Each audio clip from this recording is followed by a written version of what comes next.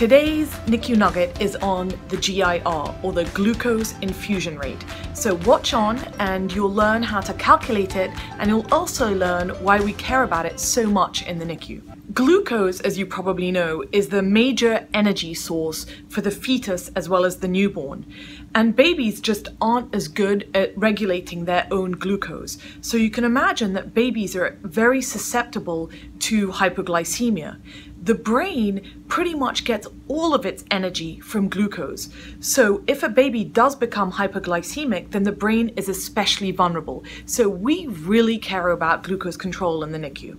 The GIR is basically how many milligrams of glucose is being given to a baby's per kilo of their weight per unit of time. So the unit for the GIR is milligrams per kilo per minute. So logically, the GIR is going to depend on the concentration of the glucose that you're giving the baby, as well as the rate that you're giving that fluid at. So a couple of things that you should know. First of all, when we talk about D10 or D20, what we're actually talking about is kind of a percentage of that fluid. So D10 means that there's 10 grams of glucose per 100 milliliters of water.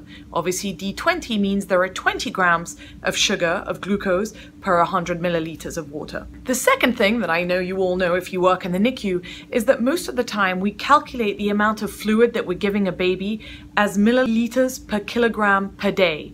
And we normally give anywhere between about 60 mLs per kilo per day to about 160 mLs per kilo per day.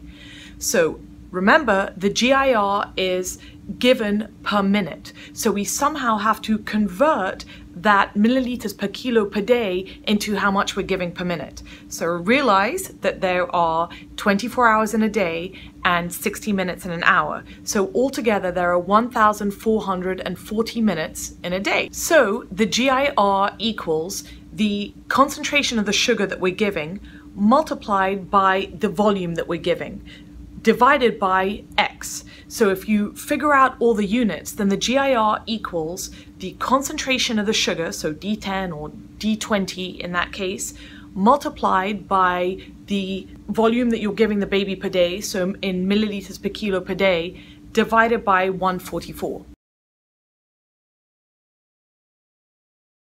Let's go through a couple of examples. So let's say that you have a baby that you're giving D10 to, D10W at 80 cc's per kilo per day. What is the GIR?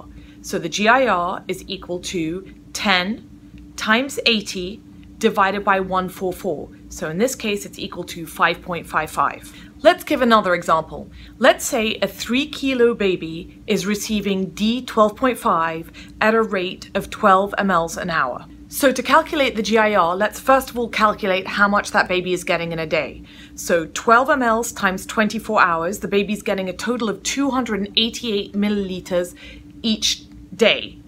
Now the baby weighs 3 kilos, so the baby is receiving 288 divided by 3 equals 96 mLs per kilo per day. So the GIR is 12.5, because that was the concentration of the sugar, times 96 mLs per kilo per day, divided by 144. In this case, it's 8.33. We really only use this calculation when the baby is on fluids or we're calculating the GIR of the fluids. Normally when a baby has already become hypoglycemic or in a very premature infant that's basically completely dependent on IV fluids. A newborn baby needs somewhere between 4 to 8 milligrams per kilogram per minute of GIR even in a micropreemie who's having loads of issues with sugar control and is ending up with like really, really high sugars, so sugars in the 300s and 400s, you really shouldn't drop the GIR below 4 mg per kg per minute because that is what the baby's brain needs. So you take the GIR down to 4 and then you give insulin or whatever else you need to do to try to help control the sugar. On the other end of the spectrum, sometimes you have to keep climbing up on the GIR because the baby is hypoglycemic. This happens most commonly in infants of diabetic mothers where they have loads of insulin circulating around their system and they're needing loads of sugar to try to maintain euglycemia.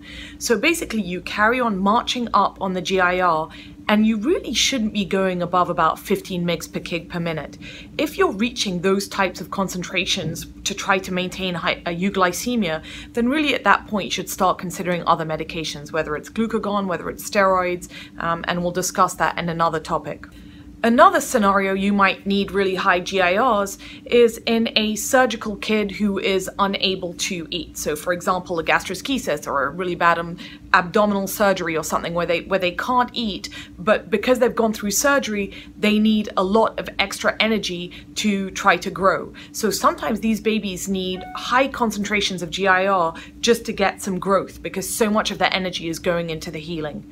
Remember, if your dextrose concentration goes above 12.5, so above D12.5, then you cannot put that through a peripheral IV. So dextrose concentration above 12.5 has to go through a central catheter. And that's it about GIR. I hope you learned something today. Please remember to like and subscribe and comment below with any other topics you'd like me to discuss. Thank you.